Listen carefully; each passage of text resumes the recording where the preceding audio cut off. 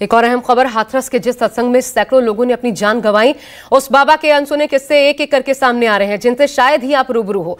सूरज पाल उर्फ़ भोले बाबा के कासगंज वाले आश्रम में न्यूज़ 24 का कैमरा उस रसोई में पहुँचा, जहाँ बाबा की खीर, यानी प्रसाद, और वो चाय भी बनाई जाती है, जिसे बाबा चमत्कारिक चाय बताकर लोगों की बीमारी ठीक करने का दावा करता है। क्या दिखा कैमरे पर न्यूज़ 24 के, देखिए आप भी।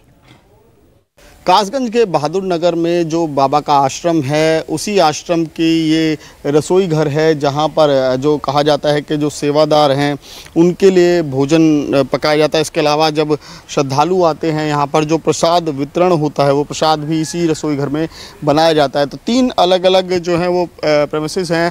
बाबा के आश्रम के एक जो चौकी नंबर एक के पास है, वो है और दूसरा ये रसोई घर का है। और तीसरा जो मुख्य है, वो ठीक पीछे जो मुख्य आश्रम है बाबा का, जिसमें किसी को भी जाने की इजाज़त नहीं है, जो बंद रहता है। हालाँकि यहाँ पर बाबा भी पिछले कई सालों से नहीं आए हैं।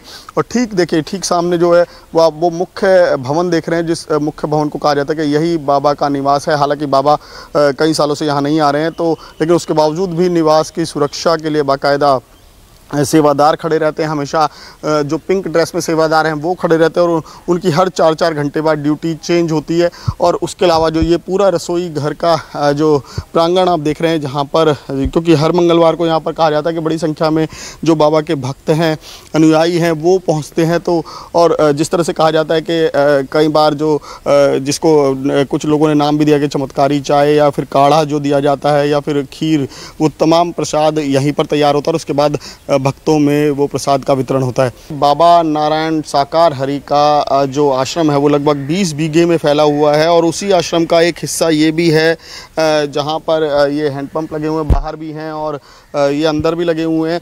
इसी का दूसरा हिस्सा दूसरी तरफ़ है और उसके बाद जो जहाँ बाबा अपना सालों पहले समाधि लगाते थे या सत्संग करते थे, वो जगह भी है। लेकिन अब तो कई सालों से बाबा नारायण साकार हरि यहाँ पर नहीं पहुँचे हैं और लेकिन एक बड़ा सवाल इसको लेकर भी खड़ा हो रहा है कि जब बाबा कहीं पर कोई डोनेशन नहीं लेते, कहीं पर कोई पैसा नहीं लिया जाता तो आखिरकार बाबा के पास इतनी संपत्ति कैसे है? हालाँकि इसका, इसके एक जवाब के तौर पर यहाँ पर जो गेट बना हुआ है, उस गेट पर कई सारे नाम दर्ज हैं, जिन्होंने यहाँ पर गुप्त दान दिया, जिन्होंने जो पैसा दिया जो आश्रम को बनाने के लिए जो, देखिए, ये बाहर का हिस्सा है, देखिए।